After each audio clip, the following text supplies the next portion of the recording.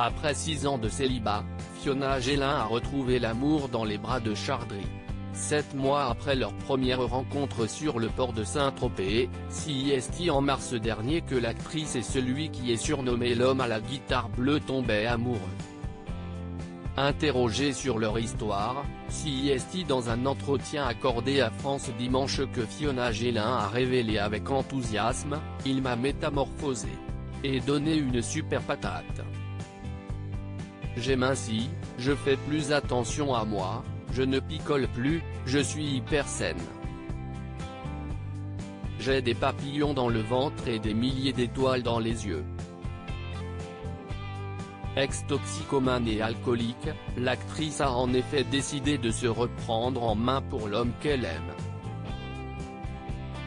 Dans cette interview, Chardry a expliqué, il est vrai que si elle avait continué à boire, je ne serais pas resté. C'était la condition. D'ailleurs, je peux vous dire qu'entre le moment où on s'est rencontré et aujourd'hui, si est impressionnant de voir à quel point elle a changé. Très amoureuse, Fiona Gélin a confié, entre nous, si est aujourd'hui comme une évidence. On a tant de points communs, de passions qui nous animent, de choses à partager que tous nos amis croyaient qu'on était ensemble depuis belle lurette. Alors que Chardry a 20 ans de moins qu'elle, l'actrice a expliqué qu'elle vivait très bien leurs différences d'âge, ça ne se voit pas. Non plus sérieusement, ça ne nous pose aucun problème, on n'y fait même pas attention. Et puis, ça maintient en forme d'être avec un petit jeune. De son côté, son compagnon a ajouté, la plupart des gens pensent même, non pas que je sois plus âgé, mais qu'on a le même âge. Mais vous savez, on dit l'amour n'a pas d'âge et si est vrai?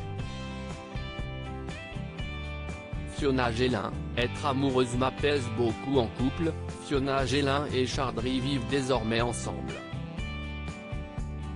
On est tellement bien tous les deux. Et puis, on ne s'ennuie pas avec Fiona. Elle a du caractère, un vrai franc-parler, énormément d'humour et si est ce qui me plaît. Elle est cache et les gens l'aiment pour ça, a fait savoir le musicien. Heureuse, l'actrice a ajouté, si est vrai qu'arrondir les angles n'a jamais été mon fort, mais ça m'aurait peut-être causé moins d'ennuis. Mais être amoureuse et avoir un projet sur mon père avec l'homme que j'aime m'apaise beaucoup. L'année qui arrive s'annonce pleine d'émotions. Loading Budget